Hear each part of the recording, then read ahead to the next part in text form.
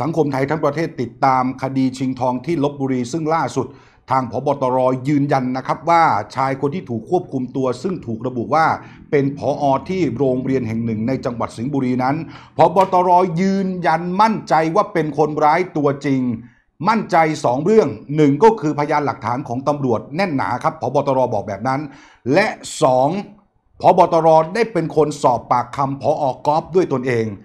และบอกว่าพออกอฟเนี่ยสำนึกผิดแล้วนะครับ กับสิ่งที่ตัวเองได้ทำลงไป ส่วนแรงจูงใจที่ทำลงไปนั้นเนี่ยนะครับพอบตรบอกว่าพออกอฟได้เปิดใจแล้ว แต่ยังไม่สามารถเปิดเผยได้ รอติดตามการถแถลงข่าวอย่างละเอียดของตำรวจ ที่สตชในวันพรุ่งนี้เวลา 10นาฬิกา30 นาทีนะครับ ไปพบว่ารองเท้ารูปร่างแม้กระทั่งลักษณะการเดินขากะเผลกเนี่ยนะครับ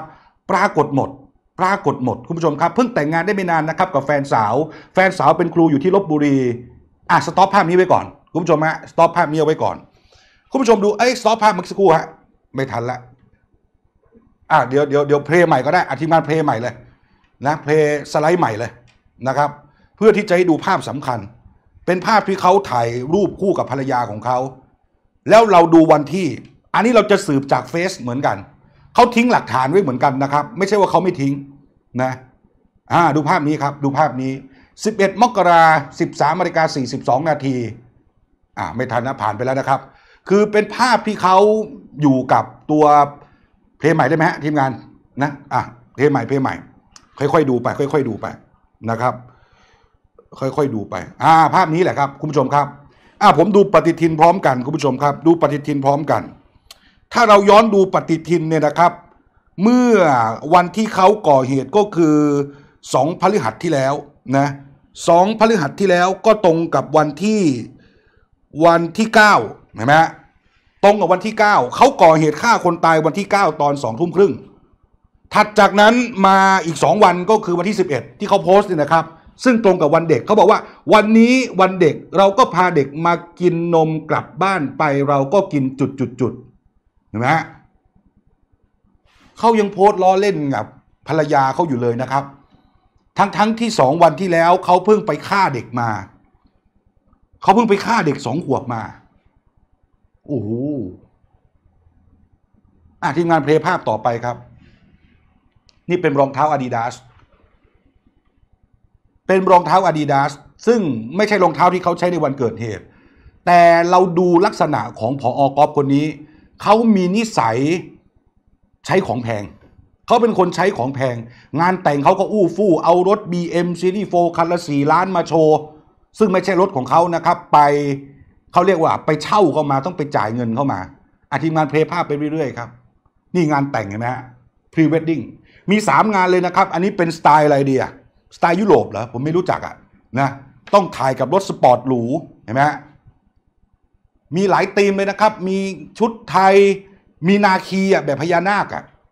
นี่ฮะนี่ธีมงานแต่งผอ.นะครับ เนี่ยพออเงินเดือนเท่าไหร่คุณผู้ชมสามหมื่นสี่หมื่นแถวแถวนี้ถูกไหมครับ งานแต่งนี่ไม่ดีไม่ดีไปจัดเป็นล้านเลยเหรอครับ เนี่ย แค่ถ่ายรูปแค่เช่ารถเนี่ยก็หลายแสนแล้วนะครับ เนี่ยเท่าที่ผมดูเนี่ย นะ มีคุณผู้ชมหลายท่านถามมาว่าทองอยู่ไหนนู่นนั่นเป็นยังไงพบตรบอกจะแถลงพรุ่งนี้นะครับสิบโมงครึ่งสิบโมงครึ่งอะเพลย์ต่อครับเพลย์ต่อเพลไปเรื่อยๆครับนะเดี๋ยวผมเล่าไปเอง นี่นะไปเรื่อยๆครับ ไปดูครับ นี่งานพรีเวดดิ้งเขานะครับโอ้โหขนาดผมยุคนแต่งงานนะครับ ไม่มีแล้วครับไปถ่ายภาพแบบนี้นี่ว่ากันตามตรง เพราะมันแพง ดูคุณผู้ชมครับมันแพง คันนี้สี่ล้านกว่านะครับ ถ้าไปเช่าเขามาขอถ่ายรูปเนี่ย ผมว่าเขาก็คิดหลายหมื่น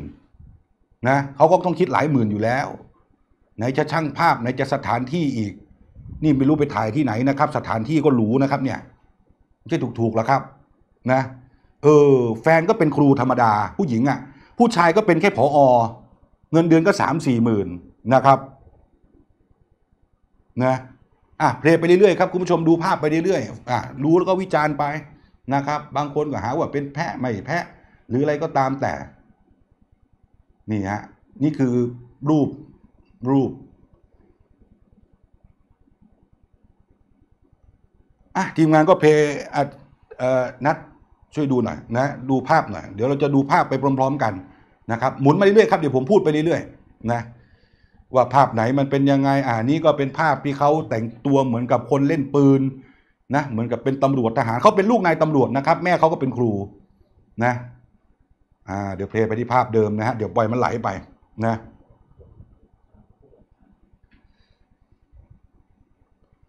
ไหลไปอะมีหลายคนอะดูรูปนี้ก็ได้นะรูปนี้ก็ได้ รูปนี้เขาโพสต์เมื่อปี 2561 คุณผู้ชมหลายท่านถามว่าเอ๊ะมันเกี่ยวกับเรื่องก่อเหตุตรงไหน เอาบางคนถามไงครับว่า แรงจูงใจเขาคืออะไร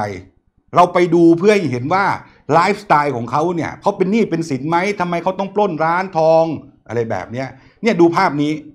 ภาพนี้อะดูภาพนี้นี่เป็นการตอบโต้กัน ไอ้ที่เซ็นเซอร์ข้างล่างนั่นคือภรรยาพิมพ์นะครับนะภาพแรกเมื่อกี้เนี่ยเป็นภาพถ่ายในโรงพยาบาล ซึ่งวันนั้นเนี่ยตัวของผอ.กอล์ฟเนี่ยไปผ่าเข่าเอ้า ในเฟซเลย นี่ไปผ่าเข่า แล้วแฟนก็ส่งลูกโป่งบอก take care นะสามี แล้วก็มีคนมาแซวว่า สามีก็บอกว่า โอ้โห นี่เป็นครั้งแรกของผมเลยนะครับ ที่ผมได้ลูกโป่ง take care สามีอะไรแบบนี้ ก็เลยมีคนมาแซวบอกว่า ครั้งแรกลูกโป่งหรือว่าครั้งแรกผ่าเข่า ตัวภรรยาก็เลยมาตอบข้างล่างว่า หัวเราะอะ อักอักอักอักเนี่ยการ์ตูนเนี่ยนะครับสรุปง่ายๆก็คือไปผ่าเข่าเมื่อ 9 มกราคมปี 61 ไอ้ที่บอกว่าเดินกระเพกกระเพกเนี่ยนะครับ เห็นไหมฮะอ่าหลายคนก็พิมพ์เข้ามานะครับถ้าอยากจะปกป้องพออกอฟก็เชิญนะครับ นี่เพิ่งฆ่าไปสามศพนะผมเปิดข้อมูลทั้งหมดทั้งมวลเนี่ยให้ดูเนี่ยนะครับ ยังมีหน้ามาเข้าข้างพออกอฟอีกนะครับนะมันเพิ่งฆ่าไปสามศพวันนี้ผมมีพูดหยาบก็บุญแล้วนะครับ นะเด็กสองขวบตายไปเนี่ยนะครับ ยังมีคอมเมนต์เสือกทำมาเป็นเข้าข้างมันอีกนะครับ มันเพิ่งฆ่าคนตายไปสามศพนะครับ พ่อแม่พี่น้องลูกเมียเนี่ยนะครับ แทบตกนรกทั้งเป็นยังเสือกเข้าข้างมันอีกนะเอออะไรเนี่ยนะแรงจูงใจแถลงพรุ่งนี้ครับ อันนี้เป็นคนหนึ่งที่อ้างว่าเคยเป็นอดีตลูกศิษย์บอกว่า เมื่อก่อนเนี่ยพออก็เคยมาสอนเขานะนี่ไงจริง ๆเขาเคยเป็นครูเคยสอนเรามาก่อนที่โรงเรียนเก่า เขาขับ BM ด้วยนะ ตอนนั้นแต่เป็น BM คันเก่านะครับ ไม่ใช่ BM Series 4นะครับเรียนกับเขาเขาก็เคยพูดว่าเอ็นขาฉีกมาก่อน เท่าที่จำได้นะ และก็เล่าเรื่องทำนองว่ายิงปืนแบบนี้แบบนั้นมาก่อน อะไรแบบนี้แหละ แต่แกดูไม่เป็นพิษเป็นภัยกับใครนะ ลูกศิษย์บอกว่าครูก๊อฟเคยเล่าให้ฟังว่าเอ็นขาฉีก เอ็นขาฉีกนะ เอ็นขาฉีก และเคยเล่าเรื่องปืนอะไรแบบนั้นมาด้วย ซึ่งพอไปสอบถามเพื่อนของครูก๊อฟที่เป็นครูอยู่ที่โรงเรียนเนี่ยนะครับ ก็บอกว่าครูก๊อฟเนี่ยนะครับ เคย เคยเอาปืนที่มีกระบอกเก็บเสียงเนี่ยมาซ้อมยิงที่โรงเรียนด้วยนะครับ อันนี้นักข่าวไปตามมา แล้วเพื่อนครูเนี่ย ก็เล่าให้ฟังนะ หรือจะมีภาพนะครับตอนนี้ก็แว่นว่อนในโซเชียลมีเดียรองเท้าสีดำครับที่เขาใส่ในวันเกิดเหตุเนี่ยเขาเคยถ่ายรูปกับภรรยาของเขา แล้วเขาก็ใส่รองเท้าสีดำคู่เดียวกันเป๊ะที่เขาใส่ในวันป้นร้านทอง แต่ไม่ใช่อาดิดาสคู่นี้นะครับอาดิดาสคู่นี้เนี่ยผมให้ดูแค่เพียงว่า เออเขาชอบเล่นของที่มีราคา หรือว่ามียี่ห้อนะ อะนี่ก็เป็นภาพรวมนะครับที่หยิบมานำเสนอให้กับคุณผู้ชมได้รับทราบนะครับเออใครที่บอกว่า เออ จะไปนำเสนอข้อมูลของเขาทำไมไม่เกี่ยวกันเลย พูดเหมือนกับว่าอยากจะปกป้องมันเต็มแก่อย่าให้ผมแช่งนะครับ ถ้าเขาไปฆ่าลูกคุณเนี่ย นะ คุณจะรู้สึกยังไง ถ้าเขาไปฆ่าผัวคุณเนี่ยเมียคุณเนี่ย เหมือนที่คนอื่นเขาโดนเนี่ย ไม่ใช่ว่าวันนี้ทุกคนช่วยกัน สื่อช่วยกันตำรวจช่วยกันกว่าจะจับได้ ไปค้นหาข้อมูลเชิงลึกมานำเสนอนู่นนี่นั่น ยังไปเข้าข้างคนร้ายอีก นะ ไม่สบายก็กินยานะครับ พักผ่อนครับ ไม่ใช่มาเม้นส่งเดชแบบนี้ นะ ยังจะไปคนเข้าข้างคนร้ายอีก อืมนะอะนี่คือภาพรวมภาพใหญ่ๆแล้วกันคุณผู้ชมครับในวันพรุ่งนี้เนี่ยก็รอติดตามการแถลงข่าวจากตำรวจครับ ทั้งเรื่องแรงจูงใจ ทั้งเรื่องเป้ ทั้งเรื่องกางเกง เรื่องปืนไอ้ที่ถามมาทั้งหมดทั้งมวลเนี่ยนะครับไอ้ที่ถามมาทั้งหมดทั้งมวลเนี่ยเดี๋ยวรอไปดูในวันพรุ่งนี้ เออนะครับนะ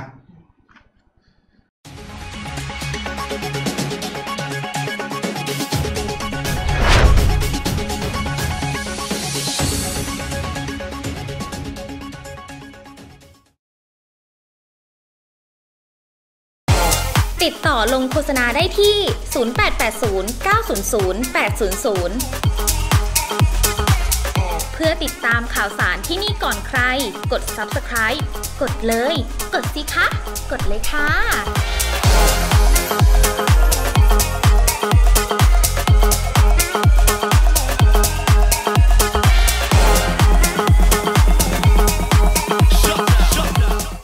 อย่าลืมกดไลค์และกด See First ของเพจจาม และอย่าลืม Subscribe และกดกระดิ่งในช่อง YouTube ของจามด้วยนะคะ เพื่อจะได้ไม่พลาดข่าวสารจากจาม .com จ้า